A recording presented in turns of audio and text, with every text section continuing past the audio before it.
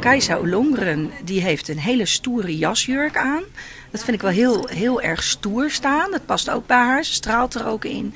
Het is een, een rode jurk met witte uh, details. Een beetje gewaagd, want een decem is altijd wel. Ze, knalt er wel uit op de foto. En uh, wat ik nog stoerder vind, is dat ze voor lieslaarzen gekozen heeft. En ze lost ook gelijk het probleem op dat een jurk soms te truttig kan worden met een pump of een hak eronder. Dat probleem heeft ze dus nu niet. Ank die dacht, ik ga echt voor kleur, ik maak een statement. En die heeft voor geel gekozen. Um, ik zou het zelf niet gedaan hebben, omdat ik het een beetje zomerse kleur vind. Maar zij straalt in die kleur. Dus blijkbaar is het een kleur die bij haar past. En dan is het goed. En op het bordes, ja, knalt ze er natuurlijk wel uit. Je kunt haar niet missen. Ze heeft ze goed gedaan. Eén tip nog voor haar. Lak ook de nagels de volgende keer. Ze dacht natuurlijk, dat kan ik niet in het geel doen. Maar dat mag ook best in het knalrood bij geel. Staat heel mooi.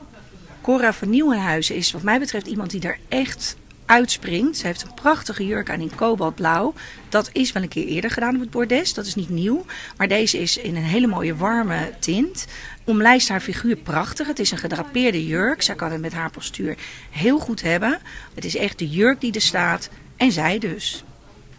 Carola Schouten is denk ik de jongste van het stel. Ik vind dat ze het goed gedaan heeft. Ze heeft een, wel een printje aan, wat een beetje gevaarlijk is. Maar het is een paisley printje, heel erg van nu in donkere kleuren. En als je op afstand staat, dan vloeien die kleuren een beetje in elkaar over. Dus daar is denk ik wel een stylist aan te pas gekomen. Sigrid Kaag die, uh, heeft gekozen voor een thema wat heel actueel is deze winter. Namelijk verloer. Het is een beetje verloerachtige stof. Ook in een printje, maar niet too much. Dus daar komt ze ook goed mee weg. Kort mouwtje, dat geeft haar blijkbaar wat lucht. Staat er ook goed. Dat voelt zij zich denk ik prettig in. Ingrid van Engelshoven die heeft het thema powerdressing heel goed begrepen. Die heeft voor knalrood gekozen, staat haar prima. een hele eenvoudige jurk met een prima lengte voor haar. Net iets uh, onder de knie, dat staat haar goed. En wat leuk is, er staan accenten, namelijk grote strikken op de mouwen. En verder heeft ze het vrij simpel gehouden en een broche op de jurk. Wat toch een beetje accent geeft, maar niet te veel, niet te overdan. Dus goed gedaan.